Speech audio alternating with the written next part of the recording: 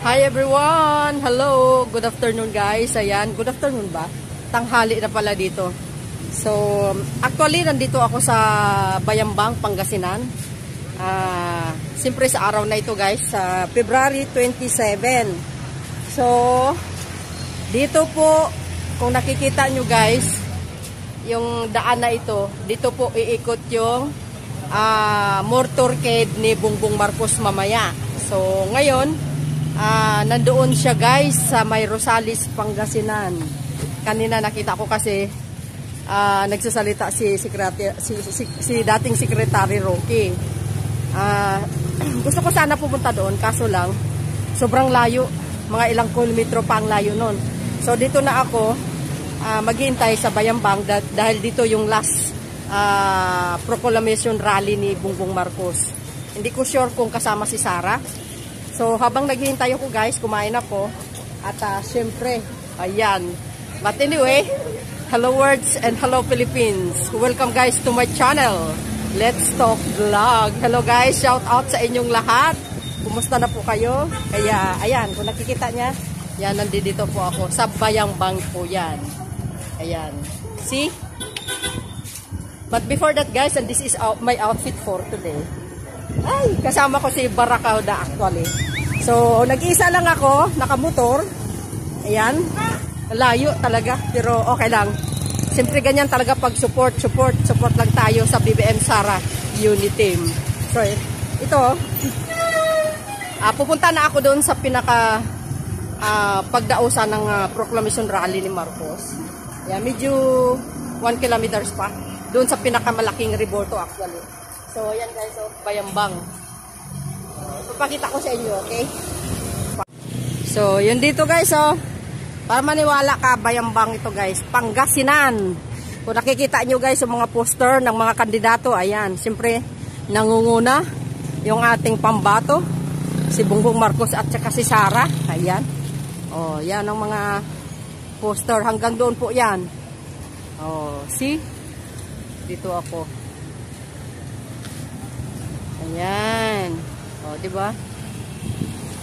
So, pupunta na ako guys sa pinaka pinagdausan ng rally.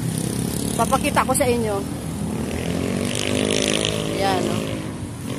So, mamaya baka mag-live ako pag uh, nandoon na si BBM. Ayan, makita natin guys at uh, i-try natin mag-live habang nag uh, ano, nag nag uh, motorcade sila. Pero doon talaga ako maghintay dahil medyo malayo doon. So, yung guys, ang social ng mama. Ayan, oh. Ganda ng ano niya, oh. Wow. Diba? So, yung tatawid tayo dito. So, yun guys. Naka-single motor ako. Sobrang init dito. Ayan. Ito po yung motor ko, guys. Sasakay na ako. Ayan, oh. Ah. So, pupunta na ako, guys. See you there. Pakita ko sa inyo. Babus.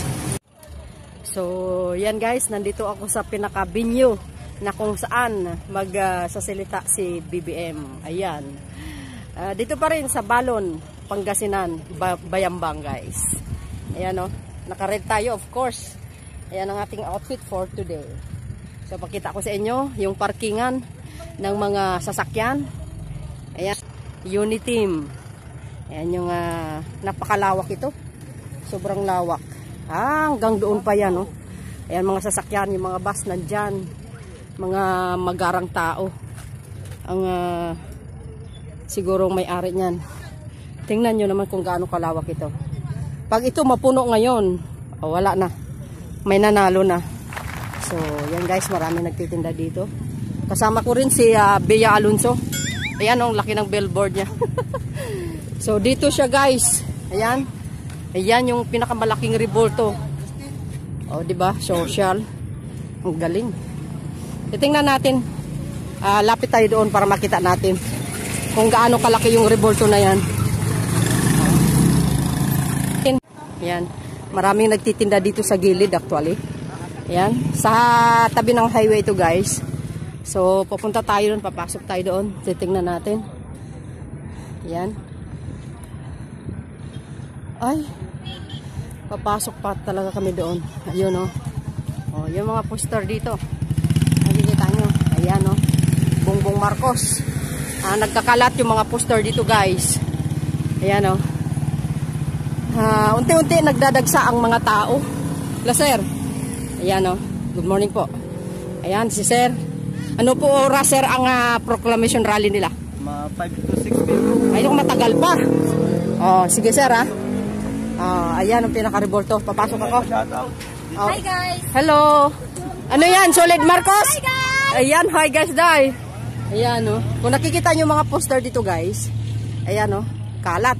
Actually, malawak ito, eh. Ayun yung pinakamalaking revolto, oh. Tingnan nyo, pati mga revolto, Maka Marcos. Sabi niya, peace. Oh, di ba? Actually, doon ito, ah. Doon pa, papasok pa kami sa loob. Ayan. Hindi lang dito, ah. Marami pa doon sa loob. Doon magsasalita si Marcos. Napakalawak itong uh, venue na ito, guys.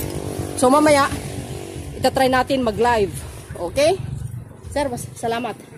Anong gagawin natin dyan? Oo, oh, papasok ako. Pero mamaya, ba, lalabas din ako, ano?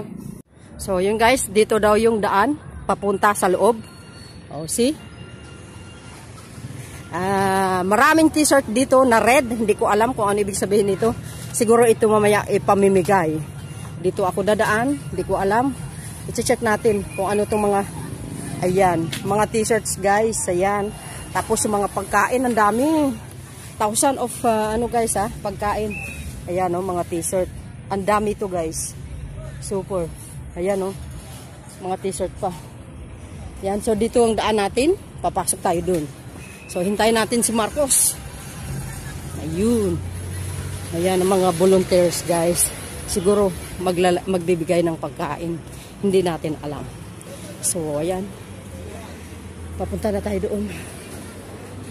Ayan. So ang uh, eh, ang pro, ang uh, proclamation guys is ang sabi 5 to 6. So ayan. Maraming tao nagdagsaan na. Pupunta na, pumasok na sa loob.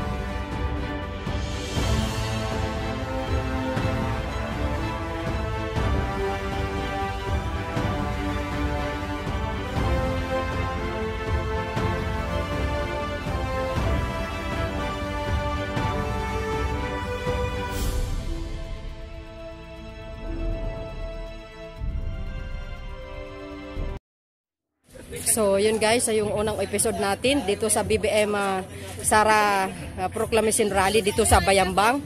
At ah, see you guys mamaya sa sa pagdating nila at try natin magla-live. Okay? Stay tuned lang kayo guys. Ito yung part 1. Bye, bye, bye, bye. God bless everyone guys. See you later. Babush!